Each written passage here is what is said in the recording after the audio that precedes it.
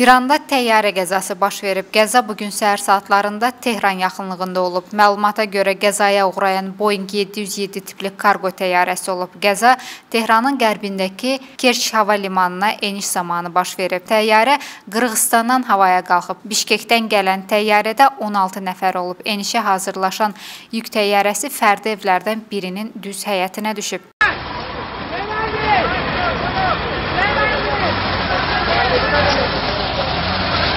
نداره بابا نزن یارکی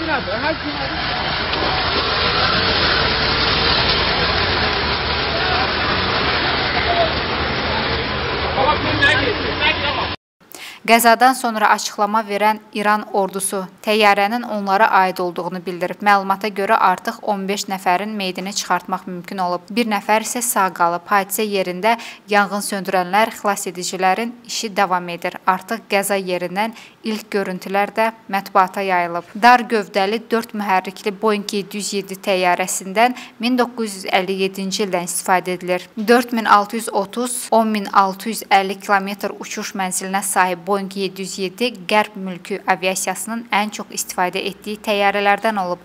Artıq bəzi şirkətlər ölkələr hərbi və mülki yük daşımalarda onlardan istifadə edir.